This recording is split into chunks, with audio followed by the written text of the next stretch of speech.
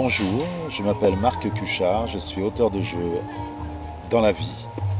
Et à l'espace du possible, j'anime des ateliers sur les jeux de développement personnel ou des jeux livres du bien-être. Jeu livre, je m'explique, un jeu livre, ce n'est pas un jeu, ce n'est pas un livre, c'est un jeu livre. C'est-à-dire entre la théorie, le livre, et le jeu de la vie, la pratique. Donc euh, voilà, par exemple, euh, ce jeu qui s'appelle euh, Jeu livre c'est un jeu livre. C'est le jeu des sept lois spirituelles du succès.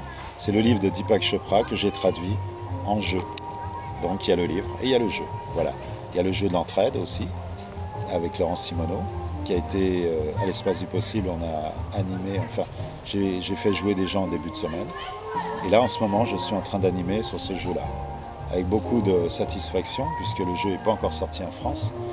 Sort au mois de novembre et il y a déjà beaucoup de, satisfaction des participants joueurs. Voilà, alors euh, mon parcours peut-être, c'est une question que beaucoup de gens se posent. Comment on devient auteur de jeu Eh bien, quand j'étais jeune, je me suis cherché 10 ans de voyage initiatique et puis quand j'étais guide au Yémen, eh bien, il fallait roter après manger pour dire c'est bon et puis je rentrais en France, c'est le contraire. Et là, j'ai compris que les cultures, euh, les règles de jeu de chaque pays étaient différentes. Plus j'ai fait une cinquantaine de métiers, et là, dans chaque métier, les règles n'étaient pas les mêmes. Et à force de me poser plein de questions comme ça, ben, j'ai pris de la hauteur, et je suis devenu auteur de jeu, dans la mesure où euh, il y a un espace, il y a un entre-deux entre la théorie, entre chaque théorie, chaque euh, processus. Euh. ça, c'est un mot un peu savant, mais j'ai fait 15 ans de, jeu pour l'entreprise, c'était très alimentaire, et j'ai appris beaucoup de choses, évidemment. Mais maintenant, je fais beaucoup de jeux livres euh, du bien-être, on va dire des jeux de développement personnel, on peut parler comme ça aussi.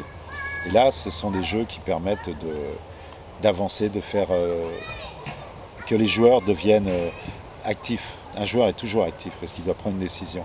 Quand vous lisez un livre ou vous regardez un film, vous êtes passif, vous êtes spectateur et par procuration, vous allez mettre dans la peau du héros ou encore pire dans la peau du, du méchant.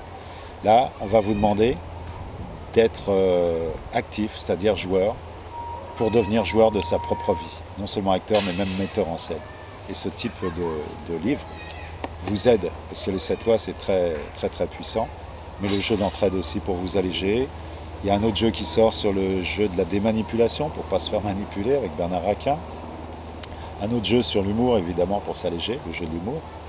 Avec Jean-Pascal de Bayeul, un jeu qui s'appelle Oraclès pour la sagesse des comptes, comment avancer pour faire son vœu. Et puis, puis il y en a tellement d'autres que je ne peux pas tous vous les dire, sinon il y en a pour euh, longtemps. Par contre, euh, je pense que c'est bien maintenant, c'est le moment où il faut euh, que les secrets ne restent plus secrets, qu'on partage un maximum de choses pour faire avancer un peu tout le monde. Que ce soit dans les écoles, les entreprises, enfin toutes les organisations. Et je crois qu'il y a des gens, je commence à y avoir urgence. J'étais avec Pierre Rabhi et Rives il y a pas longtemps sur un éco-forum. Et quand on apprend qu'il y a urgence, je ne veux pas être pessimiste, mais euh, parler, bon je parle en ce moment, en plus j'allais dire que c'est pas bien, enfin il faut agir, il faut parler avant d'agir en tout cas, mais il faut agir. Et que maintenant il faut redistribuer tous les savoirs. Et la transmission du savoir, je crois que c'est euh, primordial parce que l'ignorance, c'est vraiment ce qui fait que tout le monde est malheureux en gros. Si on savait, euh, oh là là. Donc élever la conscience, et le jeu, la vie est un jeu. Hein.